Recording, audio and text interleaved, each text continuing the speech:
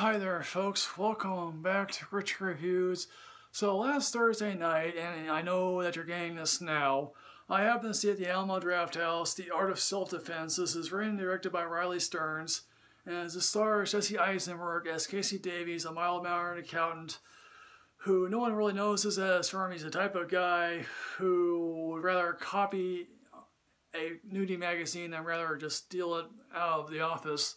And so one night, while he's getting dog food from the store, he's violently attacked. He's laid down in the hospital for a few days. Then he struggles to figure out what to next do with his life to pick up the pieces. And what do you know? Happens to come across a, karate place. And I guess Jesse Eisenberg, when he first read the script, wasn't all that interested. And then he re regretted it again and thought, okay, I'm down with what this director has to say. And of course, everyone at this karate place calls the teacher sensei and I never seen this guy, never heard this guy's name before so I'm not gonna do that. There are a whole bunch of rules.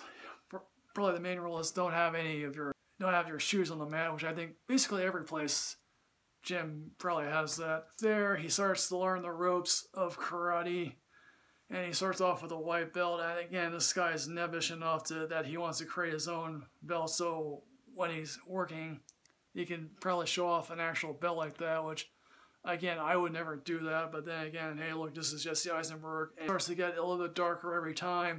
There's only one woman at this karate place played by Juno Temple. Apparently, this is set in an on-the-script time. It really could be said anywhere from like 80s, 90s, even earlier 2000s. Of course, no one really references Fight Club, you know, again, some really, really bad karate films are probably mentioned, I would assume. Here's the thing, folks, you're never going to touch the heavens with Fight Club. I think this is a reasonably great film. No one's probably going to remember this a few years from now like Fight Club. And although I think Riley Stearns' intention is to make the world's most evilest dojo, and that evilest dojo is no longer Cobra Kai. He gets Casey into all sorts of trouble. At least at one point, he claims to know, oh yes, I have the guy who possibly attacked you. He eggs Casey on to attack the guy. Now, granted, is this the guy? Who knows? Clearly, all of this has to deal with to toxic masculinity and how, like, personally, I identify a lot with Jesse Eisenberg. Sometimes with his characters, other times not, but I would love to be him. I love to be hooking up with Kirsten Stewart or Emma Stone. Imogen Poots, I think, gets one really great scene in which he describes, oh yes, there wasn't a female locker room, and so she tells the story of how she had to change, and all these guys came into the room, and she had to pretend not how to fight, and then fought back in such a great understanding. The audience with me was laughing up a storm with this. I laughed a lot. I even, I I actually laughed even the more inappropriate moments because quite frankly there are some moments where he's like, "You're not supposed to be laughing at this," but I did anyway. Yes, the guy plays a sensei. He's truly off kilter. It's like when you, when you first meet him, he's like, I am going to. I wish I could fully move out and sort of explain to you how he does his moves when I first meet him, but again, the camera's right here and I'm, I don't want to move it. When he talks to Jesse Eisenberg character, what music do you listen to? Basically says it's all contemporary. No, you listen to heavy metal music.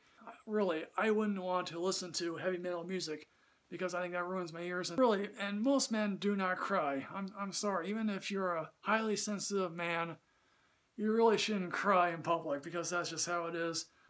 There's really one scene that I really was laughing involves a guy having dislocated shoulder. I think that's really great.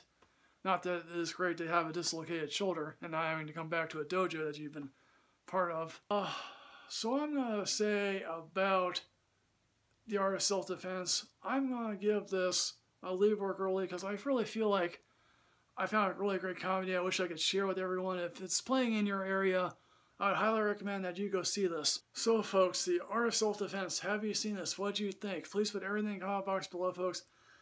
As always, folks, like, comment, subscribe, enrich yourself with knowledge. I'll see you next time, folks. Yes, hooray.